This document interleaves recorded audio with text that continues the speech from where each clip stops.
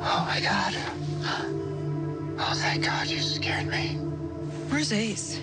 Is he okay? He's fine. You are not. It was touch and go for a while out there, Nancy. They couldn't get your heart rate to stabilize. What were you doing? We were trying to break the curse. You and Ace tried to break Temperance's death curse, the curse that you said would kill him. Yeah, but it didn't.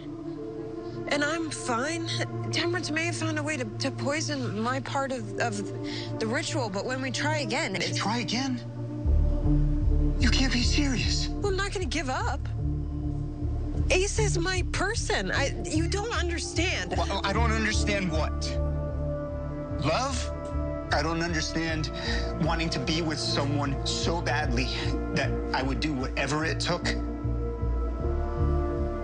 I watched my wife die. I understand everything. Sometimes, no matter how much you want something, it's not meant to be. And you have to give up and accept that and move on. I'm so sorry, Nancy. I lost your mom. I can't lose you too.